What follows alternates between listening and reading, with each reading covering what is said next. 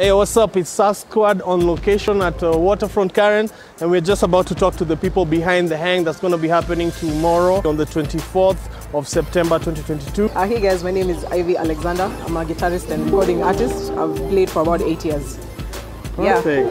That's close to a full decade, guys. Eight years, eight years. So we should be expecting some fire tomorrow. Yo, Yeah? tomorrow you guys are not ready. It's Yeah? gonna be lit. It's Yeah? gonna be so lit. Yeah. Squad on location. It's your boy Timadeka, and we're honored to have the legendary DJ Adrian on the interview today. Thank you very much for taking on my interview.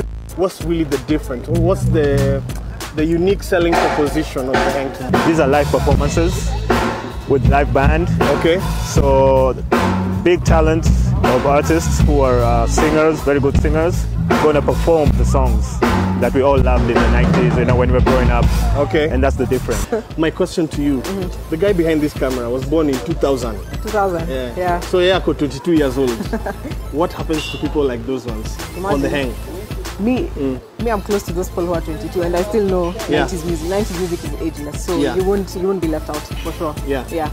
Uh, no, the Heng has been such a nostalgic, fun times event. This is our third edition of the Heng, and uh, hopefully, certainly not the last. The Waterfront Karen. You've arrived.